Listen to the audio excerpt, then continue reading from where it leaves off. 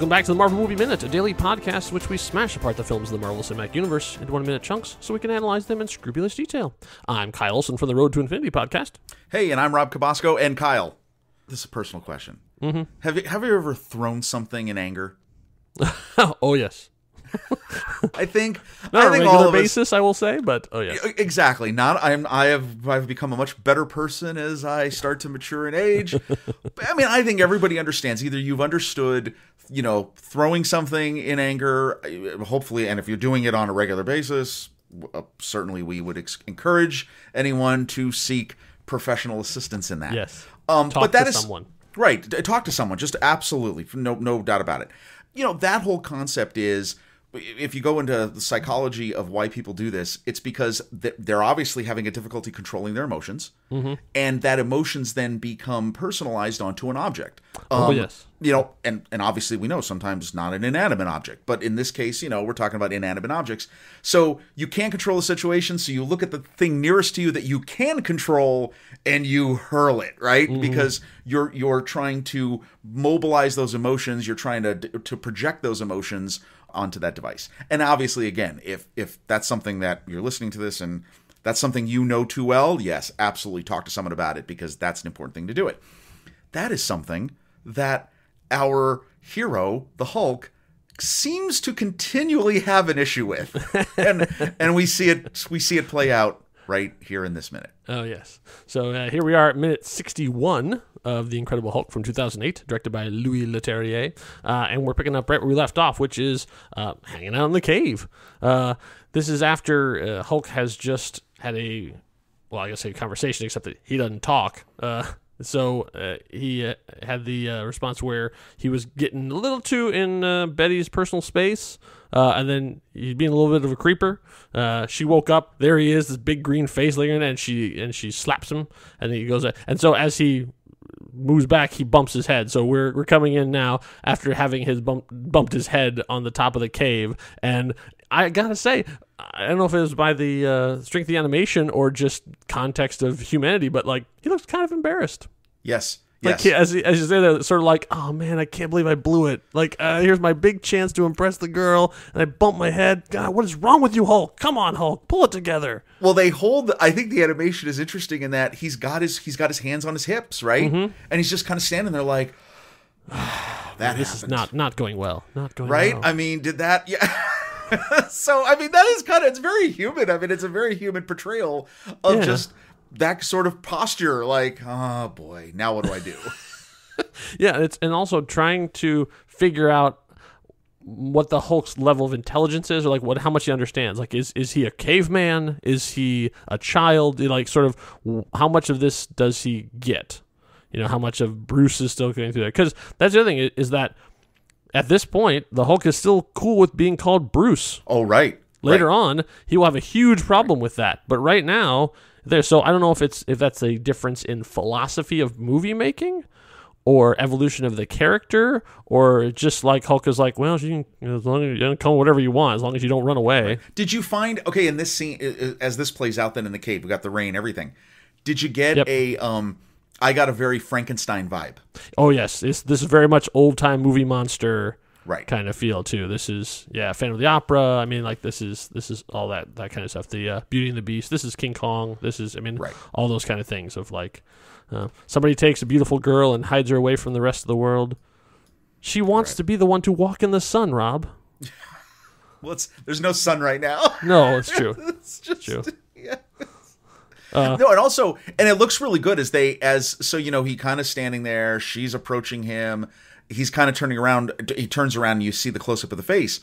I think the the the work done on the water and the mm-hmm. rain, Yeah. really well done. And this sort of forlorn look he has. This is the closest that they've come. Whether I don't know if it's intentional or not, but the closest they've come with rendering Ed Norton's face hmm. in the Hulk. Yeah, it's true. There there is some behind the scenes footage where you see he did a lot of face capture stuff. Oh, okay. Uh, and it's just, it's interesting to see uh, how the technology's evolved because now we're used to seeing dots. So like when an actor does uh, motion capture, their face is covered in dots. If you watch uh, Josh Brolin as Thanos, his face is covered in dots, and usually, and even with Andy Serkis, he will have a camera mounted to the side of his head to like watch the the face as he's as he's acting. Uh, at this point, they had to paint Ed Norton's face entirely white, so he's like wearing almost like white a full face paint mask as he's doing all the different expressions because that was I guess at the time. Maybe it was like a uh, um, it, the camera picked up only the white or something I'm not sure but it, you can see and they, and they show side by side in there in one of the behind the scenes things I found on YouTube. So Hulk and Betty are having a quiet moment as, as she's sort of like sorry I slapped you dude. I like uh, you know big green face when you wake up. That's not what you want to see. Uh, but then stupid Thunder had to go and interrupt the party man Thor thanks Oh, you're a little. We're going to talk about that in about another Uh-huh. Right? 12 Well, seconds. it- right? so it, it reminded me of that because, uh, oh man, come on, Hulk is afraid of thunder. It's like, well, yeah, you know who else is afraid of thunder? Loki. Yeah. Because if you go back to the event, uh, up to the Avengers movie, you know, jumping forward in time, uh, the, what's the matter? Afraid of a little lightning? And Loki says, "I'm not overly fond of what follows." ah, right? Because I mean, really, eh, technically, by the, the the timeline of the MCU, the Thor stuff is happening at the same time. Right. So, right. as we talked about in the last minute, this comes directly from Hulk Gray, written by Jeph Loeb and drawn by Tim Sale. In the comic book, this comes right after a fight with Iron Man. Uh, the first, the supposedly first encounter of Hulk and Iron Man, and they he takes Betty away uh, into the cave, and so. But this is uh, even in the commentary, he says this is a direct homage to that scene because that was his that was the in doing his research. This was Louis' favorite Hulk comic that he found was Hulk Gray. Uh, so this this whole yelling at the thunder thing came from there. And on the one hand, yeah, I get it. This is it's very much the movie monster vibe. They actually uh, name check Frank Frazetta in some of the design, like the big the Hulk, like he throws the the boulder as we talked about, you know, like almost the size of a car. He just picks it up and throws it, and then has this big like flexing like you can't stop me thunder like and it, they said that was uh, very much inspired by the frank frazetta the big musculature big guy you know he's got but same time he was in the rainforest. Do you really think he's still afraid of thunder? That seemed a little bit like really?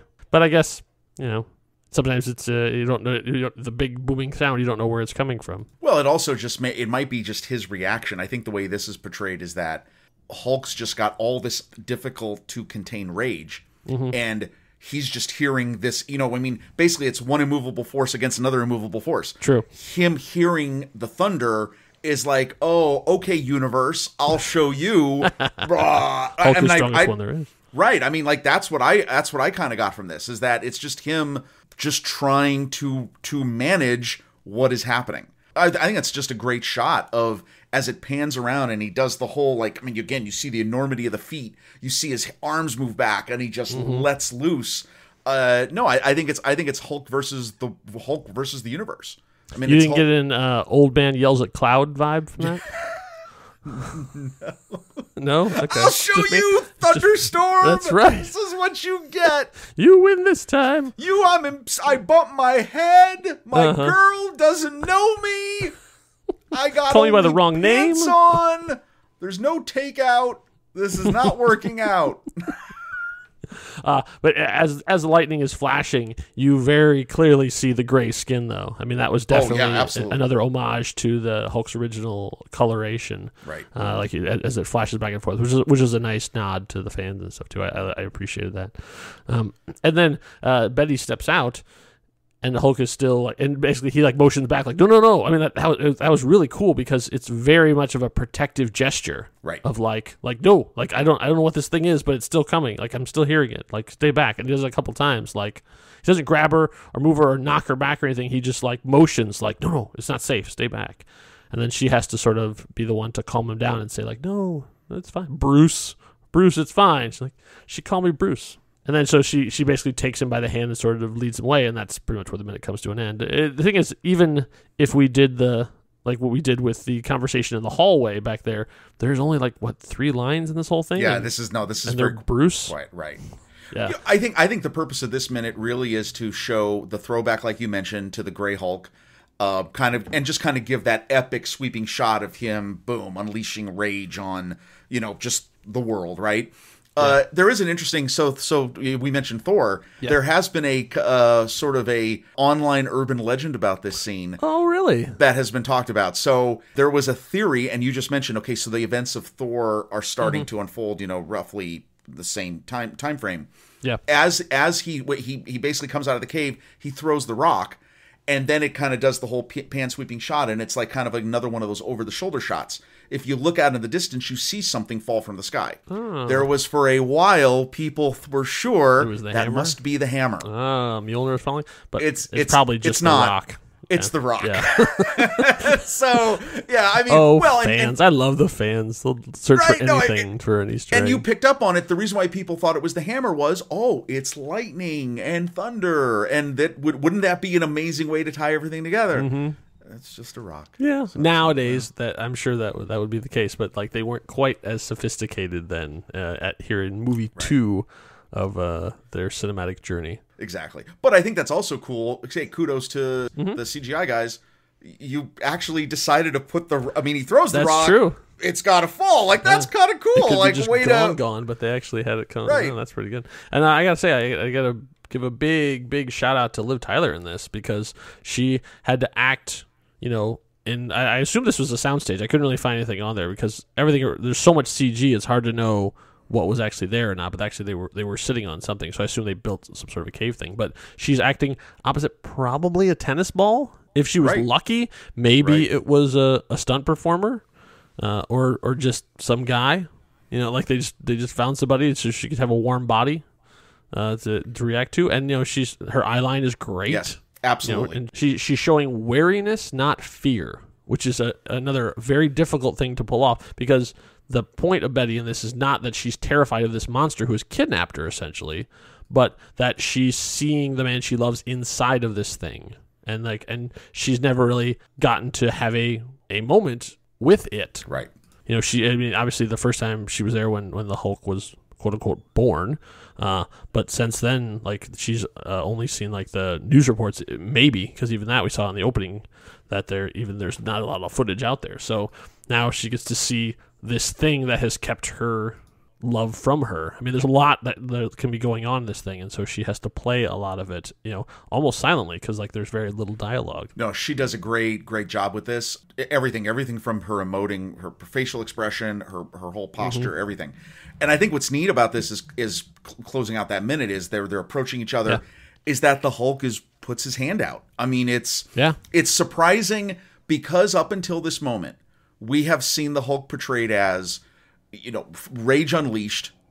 Yes. Obviously mostly uh, not offensive defensive but when when the defense comes out it's it's true. Obliterates I mean, like, yeah, he, he showed those bullies what right for. exactly. And i think this is a neat turning point in the movie as we're now as we're getting into now the second half of the movie. Mm-hmm. this readiness of the hulk to accept compassion to accept Hmm.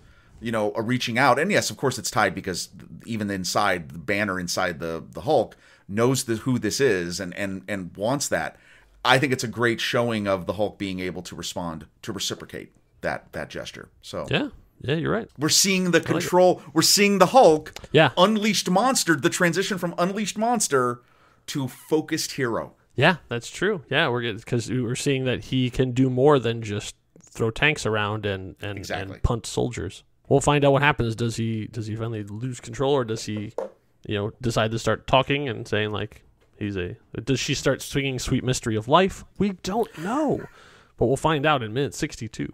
And while you're waiting for minute 62 to drop, you can follow us on all of the social media things. We're on Instagram, we're on Twitter, we're on Facebook, and who knows what other ones might have been invented by the time this episode drops. We don't know. Just look for the next reel and you'll find us there. You'll see when our next episode is dropping or any of the other next reel podcasts. So in the meantime, hope you had a smashing good time. Thanks for listening. Until next time, true believers. Bye.